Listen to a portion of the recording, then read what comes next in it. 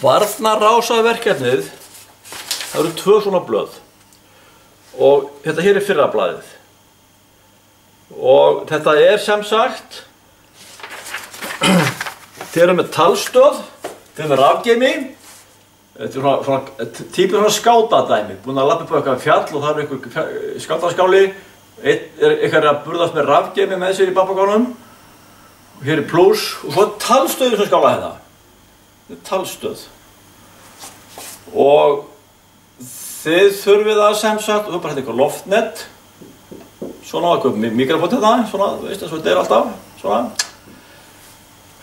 Hér er vír úr rauður, þetta er pluss og hér er vír úr 0 hérna eða, já 0 volt hérna. Og hér er geimirinn hér er pluss hérna. Og hér er 0 hérna svona.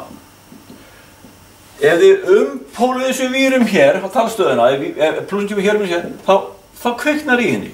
Hún eigðilegst og ég byrði ykkur í þenni eitt að, að útbúa rás sem kemur í veg fyrir þetta. Meitin díóðu þá setjið þið eina díóðu hér. Svona. Svona. Og hér er bara gílamilli þetta er einhvern veginn varnardíóða Ef hér eru 12 volt hérna, þá falla hér yfir núna 0,7 volt og spennan hér er þá 11,3 volt, þetta er á plussin, plus 11,3 volt, svona. Þetta er með eitt. Ef þið myndur núna umpóla výruna hér, gefur mínus hér á, hann kemst ekki í gegn. Hann stoppar hér. Hér verður ekki ringar á, það fer ekki afbyrjað til talstöðuna, hún skemmist ekki. Þetta er með eitt. Í liðnum 2 þá byrð ég ykkur um að tegna það að hafa þessa rannsókn. Aftur því þú þurfum að tegna þessa, mynd að, þetta, þetta er tegna fjórum sinnum. Ég byrð ykkur að bæta náðu við tveggjampera öryggi í rásina. Við framhandi í þóna sko í rafvirkninni hjá okkur þá lærið ég svona sjálfur einhvern veginn svona. En í svona búnaði og bílum þá erum við yfirleitt með öryggi einhvern veginn bræðivör, svona lítir bræðivör og þau eru teiknuð svona oft og það heita F Fuse F1 og F2 og 3 og já, þannig að hérna bætið inn öryggi þetta er svona öryggi hérna það er 2 amper F1 hérna Fuse nummer 1 2 amper tekna þessu viðnám svo erum við svona lína með strykum í gegnan ofta ekki, þetta er bara svona Þannig að nú erum við með, með, með töðdæmi. Þetta er díóðu í serju og öryggi. Það er þess að tegja úr þessu. Það tegja úr þessu. Það kannski hafa þetta bara með grænu sem kemur inn, sem setjum inn. Hérna þess að koma svona öryggi. Þarna. F1, 2 amper. Og hér er komin öryggisdíóða. Svona. Svona. Ok. Nú, spyrir ykkur með þrjú, þá byrjum ykkur um að hanna rás sem kveikir á rauðri ljóstíjóðu ef öryggi fer. Það er ekkert óvaldengt að í svona rásum séu svona fullt af, sem bara sé prentkort hérna, prentkort er svona, þú veist svona kort með fullt af íslutum á, hér upp er átt litla ljóstíjóður og það loga ekki það allir í lægi, svo ef einn er í rauð, þá hefur hvað gerst og hérna er það að tekna rauða ljóstújóðu sem kviknar á ef að þetta hér er öryggi fíkur. Talstöðinu þannig, hérna inn í henni, ef að hér kemur spenna sem er lág, segjum bara 5 volt eða minna, hérna inn á hana, þá leiðir það bara hér rólega á milli og skadar talstöðinu ekki neitt. Þar við megum hleypa hérna inn lári spennu, hún bara fer hér í gegnum eitthvað dótjarnin í henni, eitthvað fylltir þetta og, og eitthvað afreyðisbrú eða eitthvað að dúla sér bara í gegn, en kveikir ekki á henni.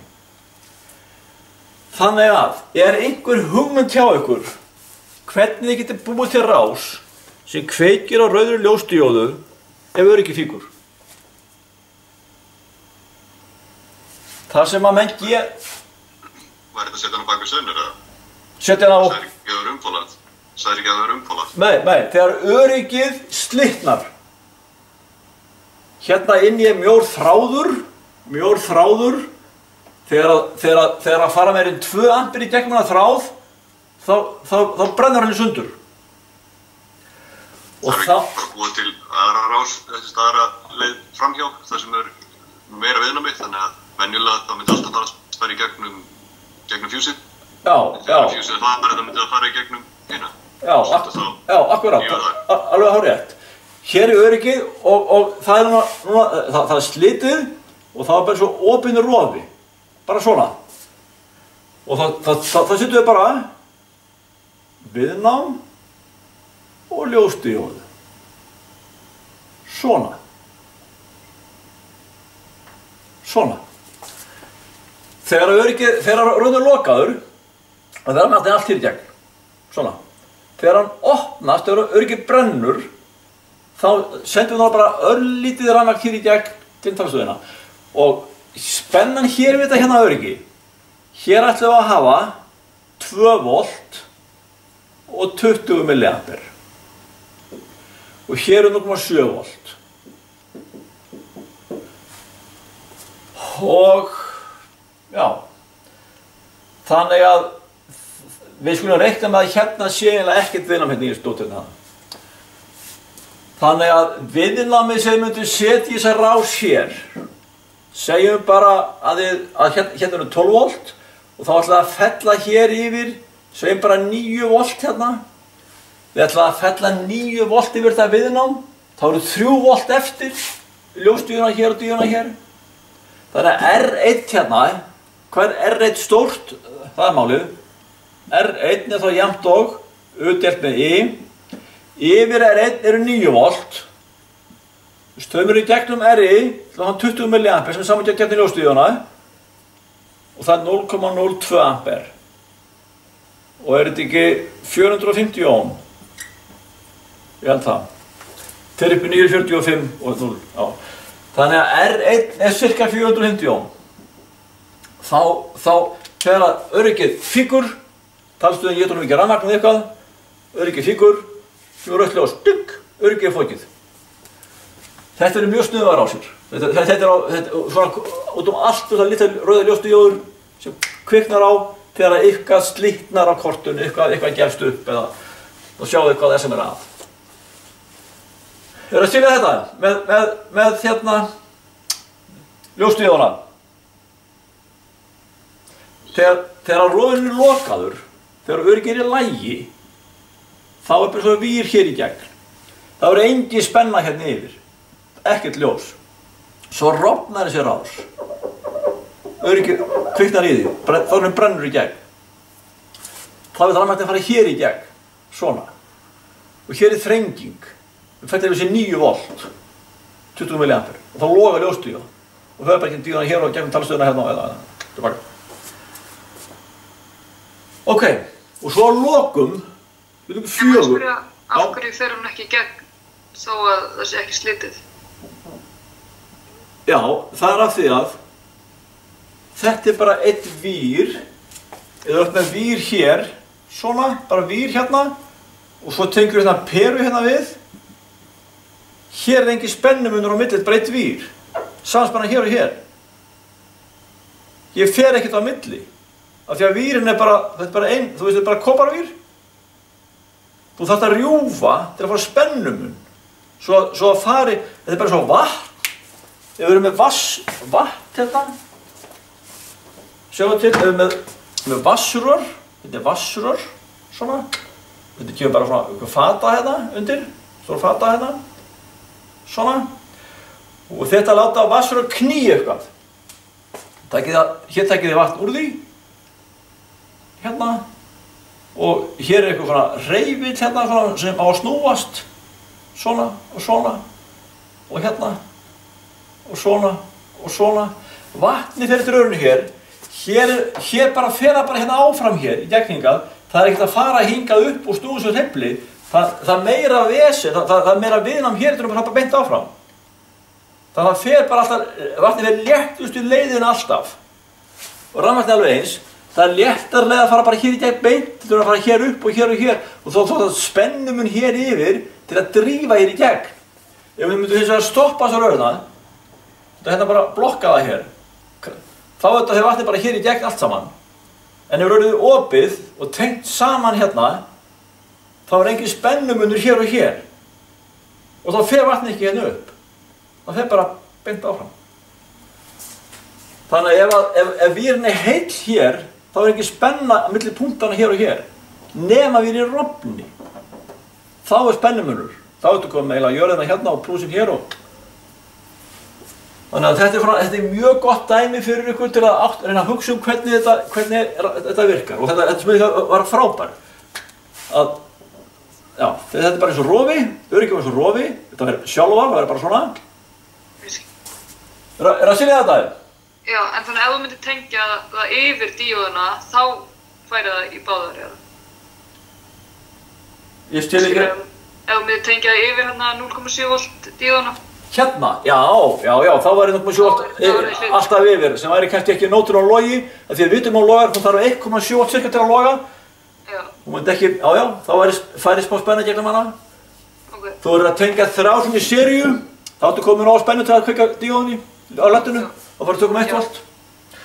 Ok, sko, og, og síðan spurningin sem er líka mjög praktísk, af því að þetta eru, þetta eru raunheimar, þá byrði ykkur að hanna rás, þetta er tvö ampir hérna, tekka ampir öryggi hérna, hanna rás sem er tengið hér á milli, og ef að það er umpólað, þá fyrir allt rafmagnið hér í gegn og þið stútuðu örygginu viljandi.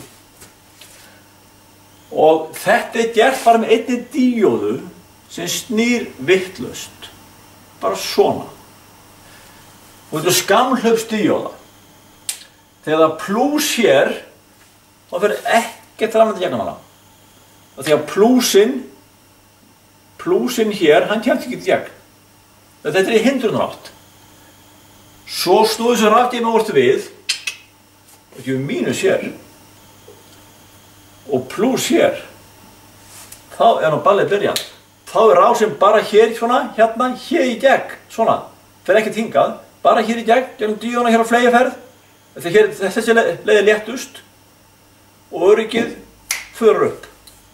Bingo. Rásinn hérna. Eru opinn, svona. Hóramerkinn hættir auðvitað að fara hér. Þessi öryggi, þetta er bara til þess að stúta örygginu á undan talstöðinni. Upp á í geiminn. Þannig að þetta eru fjórar, ef við segja fjórar varnar aðferðir til að passa talstöðin fá ekki umpóla rafmagn inn á sig og brenni. Og það eru notaðar út um allt. Oft eru þessar, þessar rásir hér inn í talstöðinni og þá er öryggið oft svona bara að skrúa það hérna skrúa það kemur svona öryggið út hérna þá er þetta styrt um það. En þá var þetta er skamhustíjóða varnardíjóða og svo bara gömuljós hérna, sem sýnir hvort að öryggið sé, sé farið eða ekki. Þannig að þetta er svona bara mjög praktísk dæmi um varnardíjóður og þetta er heimadæmið ykkar. Verkefnið, það er að teikna þessar fjórar myndir. Fyrsta myndin bara með díóðu næsta mynd með díóðu öryggi. Næsta mynd með bæta lettunu við. Og, næ, og síðasta myndin með vartandíóðunni hérna, eða skamhlöpsdíóðunni Er það násög?